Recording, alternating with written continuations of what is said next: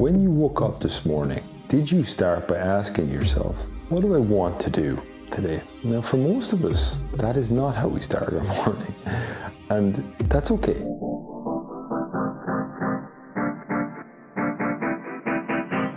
You see, the problem is most of us start our day and we're immediately into obligation mode. And there's no real space for us to kind of invite in that question of what do I want, to cultivate a sense of felt desire within us for something, anything.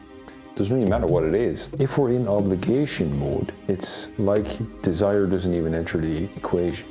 Now, it's fine to believe that you have obligations to take care of things, but all I'm going to invite you to do here in this video is to create a space in your life in which you start to explore that desire that's within you for anything.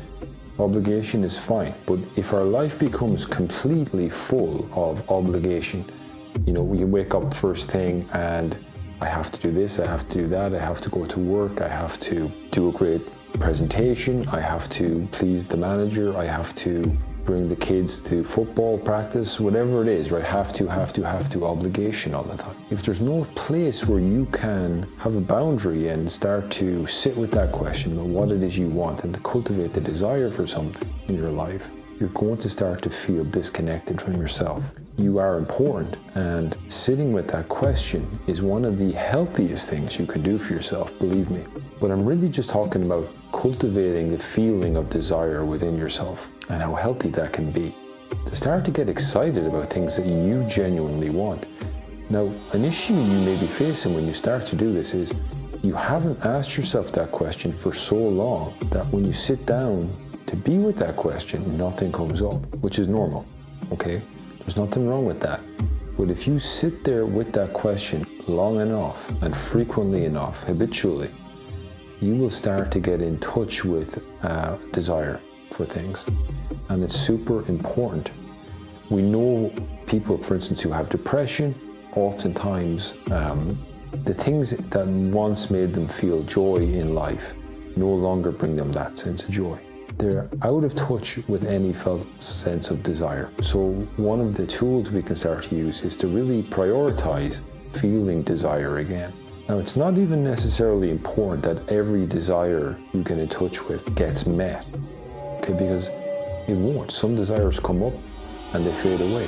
But what we don't want to do is to refuse or disallow ourselves from feeling the desire because of feelings of hopelessness or helplessness or frustration from the past, disappointment maybe we've had. Just to allow, now some of those desires will come up and some of those desires will be met. That's what we want. But the real fundamental thing is, am I starting to feel desire for things? And that involves a practice, and it's so easy to get into the practice of cutting yourself off from that question, that part of yourself that has genuine, authentic desire for things because as I said, the way I put it is always obligation mode. If you look at your day-to-day life, is it all obligation?